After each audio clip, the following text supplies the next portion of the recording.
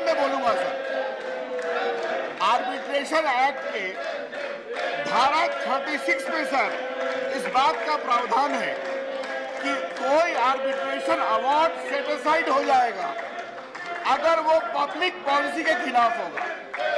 Public policy के खिलाफत किसको माना जाएगा? जो करप्शन फ्रॉड से प्रभावित हो ये स्टेट बात है।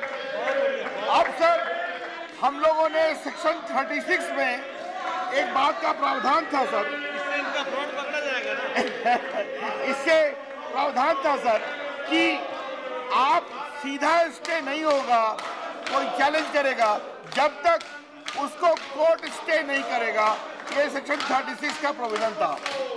सर आज के दिन हम यही कह रहे हैं अगर किसी अवार्ड को चैलेंज किया गया और अगर प्राइमा फेशियाई कोर्ट ने पाया कि ये फ्रॉड और करप्शन से प्रभावित है तो कोर्ट स्टे करेगा। सर, हमें एक बात समझ में नहीं आती है करप्शन के नाम पर इनको परेशानी क्यों होती है? क्या भारत में ऐसे अवार्ड दिए जाएँ जो करप्शन से प्रभावित हैं?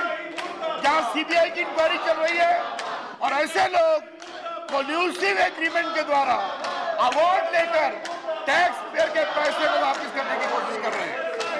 सर हमारी एकमात्र कोशिश है कि भारत में ईमानदारी से आर्बिट्रेशन हो।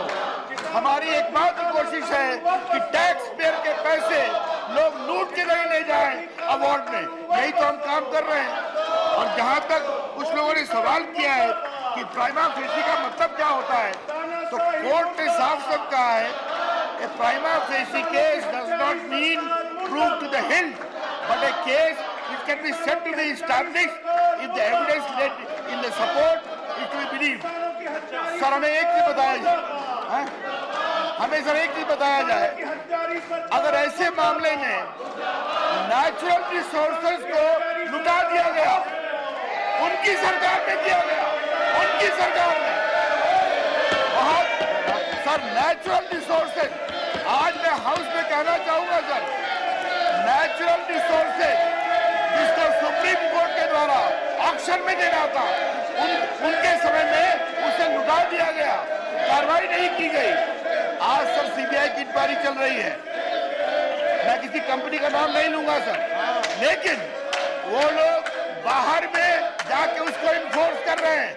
और क्या कह रहे हैं? हज़ारों करोड़ रुपए दो हमारे क्लेम पर।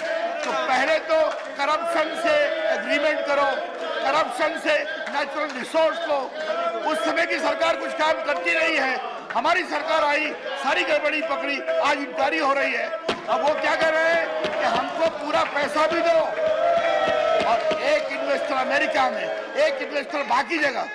Sir the larger question to be considered it क्या भारत के टैक्स पेयर का पैसा जाएगा ना उनके अवार्ड में? न उनका या किसी का नहीं जाएगा। वो कार्रवाई करते नहीं है। हम कानून से आर्बिट्रेशन के इकोसिस्टम को मज़बूत कर रहे हैं, ईमानदार कर रहे हैं, उनको परेशानी हो रही है। और हम चाहते हैं वो परेशान हो, क्योंकि नरेंद्र मोदी की सरकार ईमानदारी से चलेगी। इसीलिए सर हम लोगों ने ये कानून करने की कोशिश की अब सर, जो बात उन दो तीन मित्रों ने बताई, ये सारा कुछ स्टे के लिए है। अगर वो जीत गए तो सेटिसाइड हो जाएगा। लेकिन सर, इस सदन को एक बात समझना पड़ेगा। भारत एक आज़ाद मुल्क है।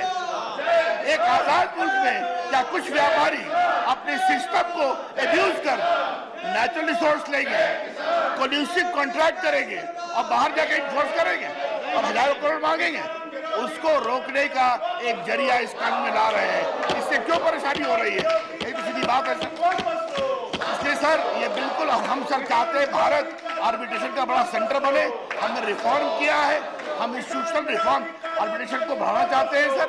और आर्बिट्रेशन काउंसिल भी बना रहे हैं, सर, जिसमें हम आर्बिट्रेशन को ग्रेडिंग करेंगे इंस्टीट्यूशन को, ताकि वो अच्छा आर्बिट्रेशन बनाए इसीलिए शेड्यूल एट को हम क्यों हटा रहे थे बहुत सिंपल सी बात है कि आर्बिट्रेशन काउंसिल ही तय करे कि आर्बिट्रेटर की क्वालिटी क्या हो, उनकी गुणवत्ता क्या हो, उनकी एलिजिबिलिटी क्या हो। कानून से नहीं, हम आर्बिट्रेशन काउंसिल को ऑटोनॉमी दे रहे हैं, जो सुप्रीम कोर्ट के जज हेडिंग करेंगे। तो यही तो सिंपल कानून है सर। और सर, हम कहना चाहते हैं, हमने ऑर्डिनेंस इसलिए लाया कि हमें भारत के टैक्स पेयर का पैसा बचाना था तो इन्फोर्स कर रहे थे। और इसीलिए ये एक नेशनल कंपेलिंग नेसेसिटी है सर इस बिल को पास करना। और मैं बहुत पीड़ा है हमारे विपक्ष के लोग एक दिन के लिए देश हित के इस कानून को रोकने में लगे हुए हैं, ये बहुत दुर्भाग्यपूर्ण है। इसलिए ये बिल्कुल वैधानिक है और मैं आपसे आग्रह करूँगा, इसे कृपा कर पारित करने की अनुमति दें।